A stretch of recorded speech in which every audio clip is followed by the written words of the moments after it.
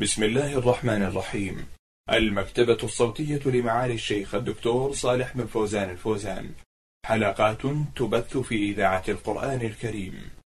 نور على الدرب. برنامج يومي. يجيب فيه أصحاب الفضيلة العلماء عن أسئلة المستمعين.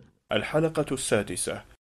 يقول من الذي يحق له غسل الميت ذكرا كان أو أنثى من الأهل والأقربين النساء والرجال فقد نرى بعض الرجال يدخلون لغسل الجنائز من الرجال والنساء أقارب أو أجانب فهل هذا صحيح؟ بسم الله الرحمن الرحيم الحمد لله رب العالمين وصلى الله وسلم على نبينا محمد وعلى آله وصحبه أجمعين. أما بعد فإن الرجل يغسله الرجال ويجوز للمرأة أن تغسل زوجها والمرأة تغسلها النساء ويجوز للرجل أن يغسل زوجته فقط. فالزوجان يجوز لكل منهما أن يغسل الآخر. أما ما عدا الزوجين فإنه لا يجوز للنساء أن تغسل الرجال ولا يجوز للرجال أن يغسلوا النساء. نعم. فالكل, فالكل جنس يغسله جنسه. إلا الطفل الذي هو الطفل الصغير الذي هو دون التمييز فهذا لا بأس أن يغسله الرجال والنساء على حد سواء. نعم. آه هذا سؤال من المرسل سعيد سالم باواكد من جدة. يقول نسمع كثيرا من الإخوان يستخدمون الآيات القرآنية لضرب أمثلة أو ما شابه ذلك كقوله تعالى لا تسمن ولا تغني من جوع وقوله منها خلقناكم وفيها نعيدكم ومن تلك الآيات القرآنية الكريمة التي لا يمكن التلفظ بها إلا لما يفيد وينفع لا للسخرية والاستهتار كالدارج على ألسنة بعض الناس وما نسمعه أو نقرأه. فهل هذا جائز أم لا؟ وإذا كانت جائزة ففي أي الحالات يمكن ذكرها وترديدها.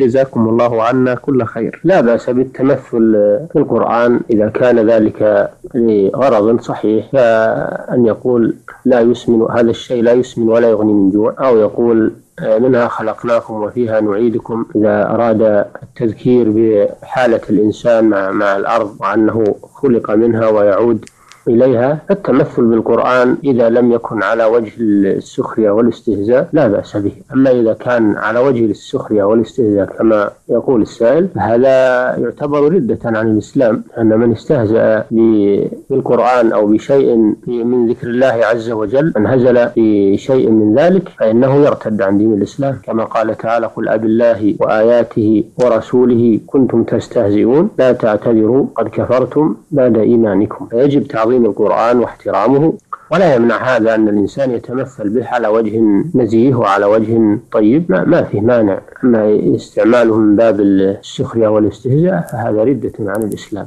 نعم. جزاكم الله خيرا. آه هذه رسالة من السائل عين غين سين الشيباني من حائل. آه له سؤالان. يقول في السؤال الأول إذا توضأ رجل ثم ذهب للصلاة وشك في وضوئه أثناء الصلاة أو بعدها فما العمل؟ إذا توضأ الإنسان بيقين وأكمل الطهارة ثم حصل له شك بعد ذلك هل انتقض وضوءه أم لا؟ فإنه لا يلتفت إلى هذا الشك. لأنه متيقن بيقين لأنه متوضئ بيقين واليقين لا يزول بالشك. لقوله صلى الله عليه وسلم إذا وجد أحدكم في بطنه شيء أشكل عليه أخرج منه شيء فلا ينصرف حتى يسمع صوتا أو يجد ريحا. فاليقين لا يزول بالشك في الطهارة وفي غيرها. نعم.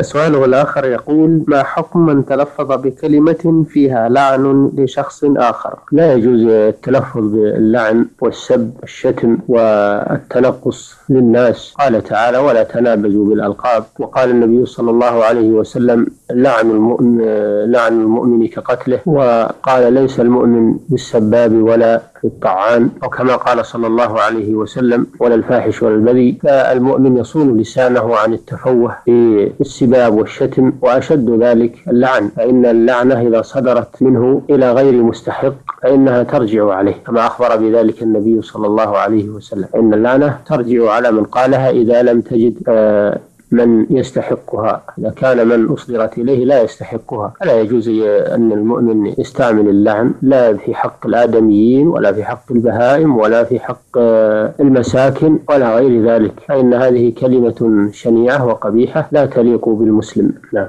أحسن الله إليكم. آه هذا السائل أبو مهيار من سوريا آه يقول أنا في الصلاة أشعر بالخشوع كلما أغمضت عيني لأنني لا أبصر ما يشغلني عن الصلاة. فهل تغميض العينين مباح أم مكروه في الصلاة؟ ذكر الفقهاء أن أن من مما يكره في الصلاة تغميض عينيه إلا إذا كان في ذلك آه، غرض صحيح كأن يكون أمامه ما يشغله فإنه لا بأس بإغماض عينيه عن ذلك الشيء الذي يشغله. أما اتخاذ هذا عادة واتخاذ الإغماض العينين في الصلاة عادة حتى ولو لم يكن أمامه ما يشغله هذا يكره. نعم.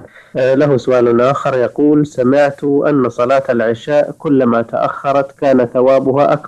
فأخذت به فأصبحت لا أذهب إلى المسجد بل أصليها في وقت متأخر منفردا حتى أحصل على هذا الثواب. فهل فعلي هذا صحيح؟ ما فعلته هو عين الخطأ لأنك تركت واجبا لأجل تحصيل سنة. فإن تأخير صلاة العشاء إلى ثلث الليل سنة وصلاة الجماعة واجبة. فأنت تركت صلاة الجماعة فعليك أن تتوب إلى الله سبحانه وتعالى وأن تلازم صلاة الجماعة. إذا صلوها في في أول وقتها تصليها معهم وإذا أخروا صلاة العشاء إلى الوقت الأفضل تؤخر معهم. وهكذا النبي صلى الله عليه وسلم فإنه كان إذا رأى أصحابه اجتمعوا عجل وإذا رآهم مثلا تأخروا أخر وكان يرغب في أو يرجح آه، أن يصليها متأخرا ولكنه مراعاة لأحوال أصحابه ورفقا بهم كان يصلي بهم صلاة العشاء في أول وقتها آه، سؤاله الأخير يقول في بعض الأحيان وبعدما أصلي أكون قلقا أو يأخذني النعاس أو الملل فلا أصلي السنة الراتبة فهل علي شيء في ذلك؟ ينبغي المحافظة على السنن الراتبة لأنها سنة مؤكدة والكسل إذا الإنسان مال مع الكسل فإن الكسل يزيد. وأما النعاس إذا كان نعاسا غالبا بحيث أنه إيه، يتغلب عليك في الصلاة ولا تدري ماذا تقول فحينئذ آه، تنام. وأما إذا كان مجرد نعاس خفيف فإنه لا ينبغي لك ترك آه، الراتبة. مع أن الراتبة لا تأخذ منك وقتا طويلا. فينبغي لك أن تحافظ عليها مهما أمكنك ذلك. نعم. جزاكم الله خيرا. آه هذا السائل مصطفى طهطاء مصري معار لليمن الشمالية. يقول آه، حلفت على زوجتي بالطلاق على الامتناع عن أخذ بعض أمتعتها حين سفرها فأبت وأخذتها وأنا لا أستطيع عمل شيء آه، منعا للمشاكل التي قد تترتب على المشاجرة معها وخصوصا وأنني غريب عن وطني.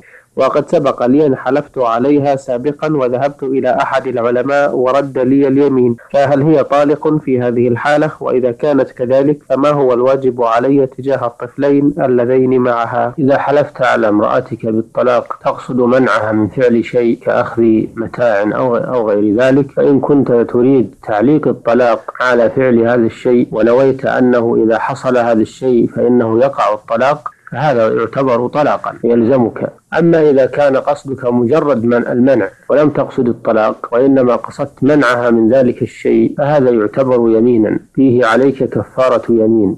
إذا خالفت زوجتك ما أردته منها فإنه يلزمك بذلك كفارة يمين. وهي عتق رقبة أو إطعام عشرة مساكين لكل مسكين نصف صاع من الطعام. أو كسوتهم لكل مسكين ثوب. آه، فإذا لم تستطع شيئا من هذه الثلاثة لا العتق ولا الإطعام ولا الكسوة فإنك تصوم ثلاثة أيام ويكون ذلك كفارة لحلفك بالطلاق. على الصحيح من قولي العلماء الله تعالى أعلم. آه، له سؤال آخر يتعلق بزوجته أيضا. يقول هي كثيرة الشجار مع والدتي في مصر.